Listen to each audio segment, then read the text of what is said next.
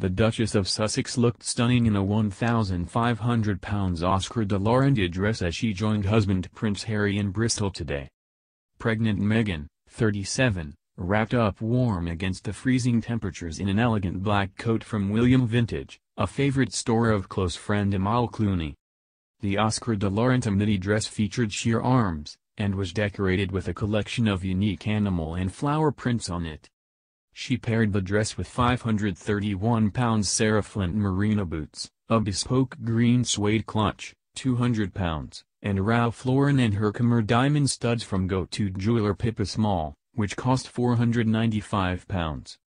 The William Vintage black coat fell below the knee and buttoned over Meghan's bump, keeping the mother-to-be warm on one of the coldest days of the year. It is possible the retailer was recommended to Meghan by Mrs. Clooney, who has sported their high-end vintage finds on a number of occasions.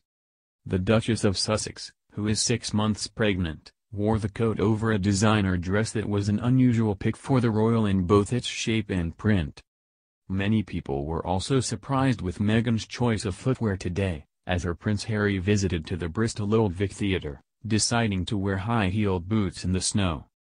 The Sarah Flint Marina boots were a green suede color and had a chunky heel, and said to be priced at 531 pounds.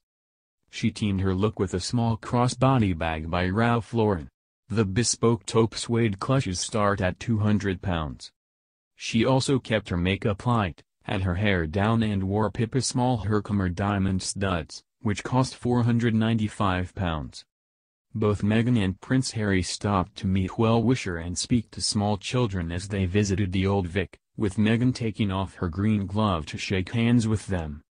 Both Meghan and Prince Harry stopped to meet well-wisher and speak to small children as they visited the Old Vic, with Meghan taking off her green glove to shake hands with them. The Duchess also wore her hair down straight for the occasion with a classic makeup look.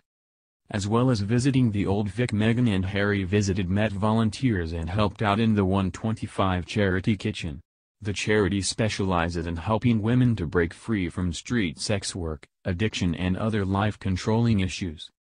They also stopped at Empire Fighting Chance in Easton, Bristol, a boxing club which uses boxing to support children failing at school and in danger of drifting into a life of unemployment or crime.